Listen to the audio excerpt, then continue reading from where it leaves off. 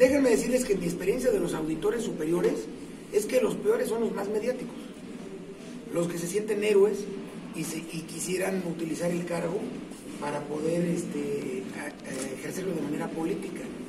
A mí no me preocupa que alguien no tenga, digamos, eh, esa personalidad eh, de, de, poder este, expresarse mejor si tiene la capacidad técnica.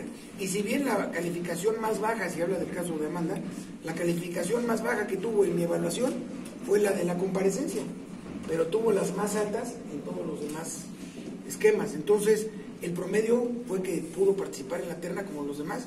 Y a mi punto de vista, después de muchos años de participar en estos temas, llegaron los que tenían que llegar. Eh,